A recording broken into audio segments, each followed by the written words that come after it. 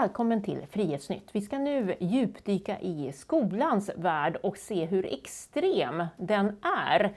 Men först ska vi gå in på skillnaden mellan skolplikt och lär, läroplikt. Eh, Tobbe, kan du hjälpa oss att eh, definiera begreppen? Skolplikt som vi har i Sverige innebär att man tvingar eh, eleverna eh, när de är sex år eh, att gå i skolan. Och det gör de då fram tills de är 15 år eller de går ut nian. Man tvingar alltså eleverna att göra det.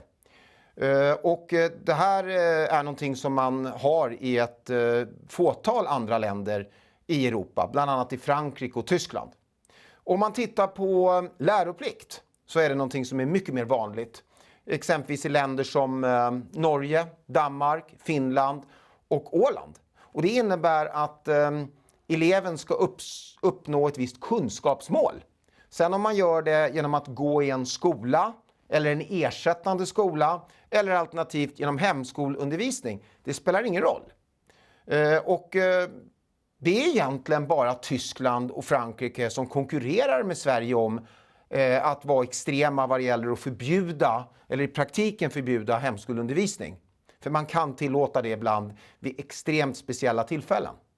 Eh, och tittar vi exempelvis på Frankrike så där införde man 2019 eh, eh, skolplikt från tre års ålder.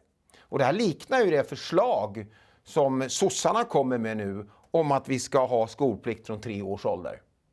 Eller på, för Tyskland då som också har skolplikt och där man inte vill ha en sån här eh, hemskolundervisning. Så att det, det är ju skolplikt, eller eh, läroplikt. Jag säger läroplikt. Det är verkligen eh, för vår frihet.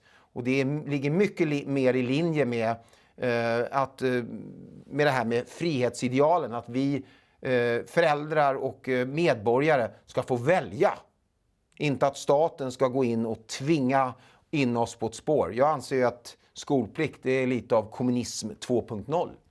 Finns det, tror du, en dold agenda från maktens sida att indoktrinera barnen? Jag är övertygad om att det finns en dold agenda att indoktrinera våra barn genom skolan. Och det här ser man ju klart och tydligt exempelvis när man läser David Eberhards bok. Jag kommer inte ihåg namnet på den. Här säger han ju själv att Socialdemokraterna har varit öppna i sina diskussioner med att skolan är ett hot mot förverkligandet av det socialistiska samhället.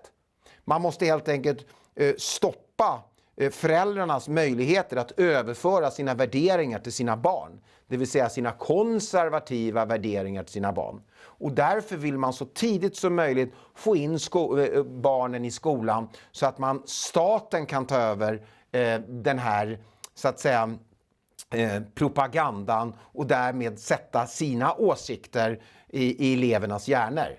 Så jag menar på att det största hotet mot vår demokrati och mot det fria ordet, det är svensk skola.